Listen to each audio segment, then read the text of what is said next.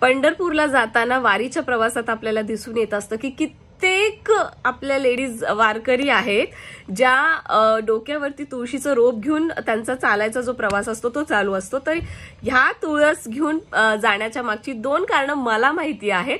ती म्हणजे की विष्णूचं जे रूप आहे विठुरायाचं ह्या पांडुरंगाला विष्णूच असल्यामुळे ही अत्यंत प्रिय आहे पांडुरंगाला.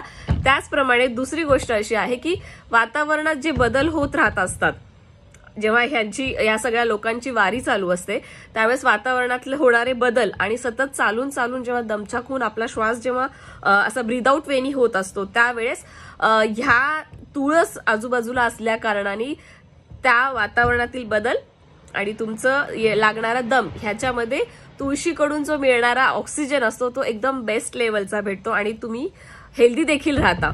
तर हे सायन्स आणि ह्या देवाला आवडणारी तुळस ह्या दोन्ही गोष्टी आपल्या इंडियन कल्चरमध्ये किती चांगल्या पद्धतीने एकत्र दिसून येत आहेत हे तुम्ही तुम्हाला देखील कळतंय आता. त्यामुळे तुळस घेऊन जाण्याच्या मागचं अजून काही वेगळं कारण तुम्हाला माहिती असेल तर मला खाली कमेंट्समध्ये कळवायला विसरू नका. थँक्यू सो मच आणि आषाढी एकादशीच्या खूप खूप शुभेच्छा